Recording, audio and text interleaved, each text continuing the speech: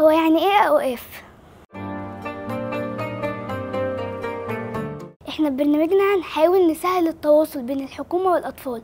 في أسئلة كتير جدا الأطفال بتكون عايزة تعرفها. إحنا ببرنامجنا هنحاول نعرفها لكم. معانا الدكتور أسامة الأزهري وزير الأوقاف. أهلا بيك. أهلا وسهلا بيكي وأنا آه، فرحان وسعيد إني أكون معاكي.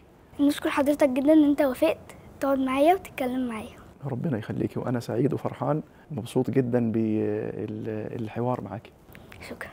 هو يعني إيه أوقاف اولا طبعا قبل ما أجاوب آه، أنا حابب إن أنا آه، أوجه من خلالك رسالة آه، إلى كل أطفال مصر أولاد وبنات إنه أنا بقدم ليهم الاحترام والحب وأتمنى ليهم المستقبل المشرق اللائق بيهم.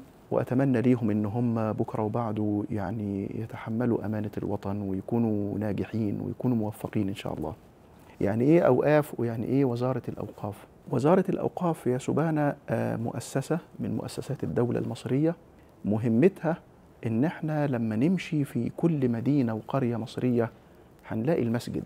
المسجد ليه إمام بيؤدي رسالته فيه وبجوار الإمام عدد من المساعدين ليه اللي بيؤذن اللي بينظف المسجد.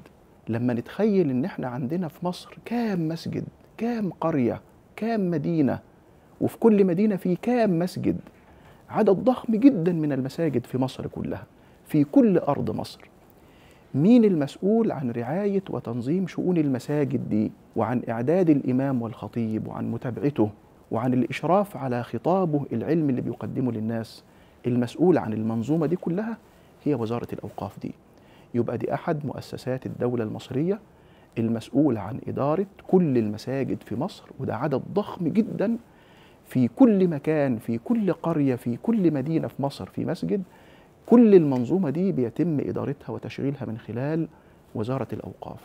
يبقى وزارة الأوقاف بنقول لكل طفل مصري دي مؤسسة مؤسسة من مؤسسات بلدك بتتشرف بأن تقوم على إدارة وخدمة مساجد مصر كلها كل المساجد كل بيوت الله في مصر اللي بيقوم على إدارتها وتشغيلها ورعاية الإمام وتنظيم شؤون المسجد هو وزارة الأوقاف.